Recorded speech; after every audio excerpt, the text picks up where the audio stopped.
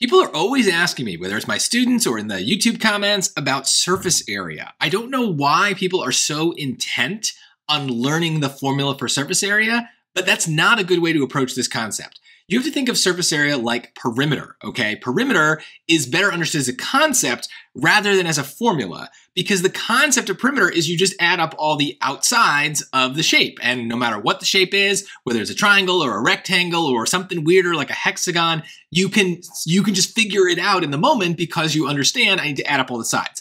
Surface area is the same way. No matter what the shape is, you're adding all the outside faces. So if it's something like a box, or in this case, a rectangular prism, then yeah, fine, there is a formula you can memorize, but I don't think it's worth putting in your brain in that way. It's better to just understand what a right rectangular prism looks like, and it looks like a box, right? So it's going to be something like this. There's a picture of it in the reference chart if you need. Uh, so there you go.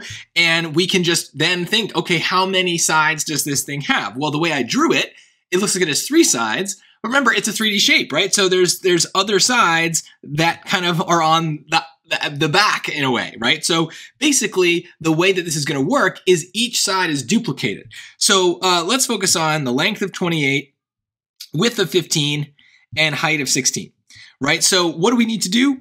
We need to find the area of each face. So let's start with what I would call the um, the top and the bottom, right? So the top and the bottom are going to be, I'm going to try my best to draw it, right? It's going to be kind of like this face here. And then on the top as well, we have the same thing. So they're 28 by 15. So 28 by 15, we can just put that in the normal calculator here. So 28 by 15 is 420. Okay, so there's two of those. Let's worry about that maybe at the end. Like, I, I don't know. Do you want to do it now, right? So you're going to multiply that by two. That's 840. However you want to do it, right? Uh, there's two. There's the, they're the same, and that's because it's a regular kind of shape. Um, we also have uh, the left and the right side. So left and right. And here we have kind of the right side is showing very nicely. So that's going to be 16 by 15.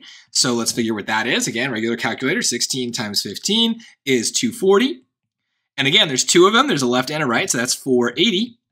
And then let's finish it up here with the um, front and back. So now I'm going to have to kind of like draw over some of the colors I already have. The front is this side right here, right? So the front and the back is going to be, uh, in this case, 28 by 16. So 28 times 16 in the regular calculator is 448. That one I'm a little more nervous multiplying by 2 but if I do it, I get 896. Now, what is the surface area? It's just add up all the faces, right? So we found that there, this is already sets of two, and so there's six total faces. So here's three things. Let's just add them all up. And 840 plus 480 plus 896 is 2216. Is that the answer? Yes. That's it. So the reason I say don't bother memorizing the formula for the uh, the surface area of a prism of a box uh, is first of all, again, it, it, there's only so many things you could hold in this brain. And having worked with students as long as I have, I know that I could tell them 100 formulas. They're not going to remember all 100. It's not going to happen. Something's going to get forgotten. So the fewer formulas you give, the less the chance that there is something forgotten. So if you make room for that formula for this, then I don't know, I'm worried that something else is going to pop out.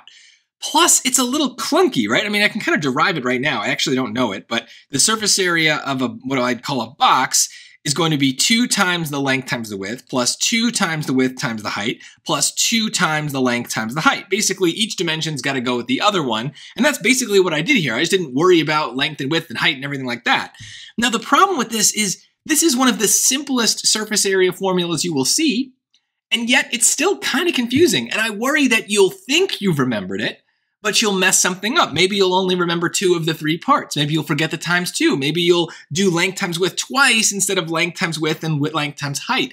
I don't know. But the more complicated a formula is, the bigger of a chance that you mess it up. So I, I, I worry that you will think you've memorized it, but then you won't. Plus, the SAT could easily ask about surface areas of other shapes, right? So we had uh, cylinders are kind of complicated. You got two circles and basically a rectangle that's kind of rolled around the cylinder. You could have a pyramid that's a bunch of triangles with, with usually a square base. And you don't want to have to memorize those formulas. If you want, put them in Google. You'll see they're messy. and they're not going to be easy to memorize. So you're better off thinking of it as the flat shapes that we're used to. A box is going to just be a bunch of rectangles. A pyramid is some triangles and a square. A cylinder is some circles and a rectangle, right? Think of it as the simpler flat shapes and it'll be easier to figure out in the moment. So I don't know. This is me just kind of ranting because this is a common question that I get is what are the surface area formulas? How do I memorize them?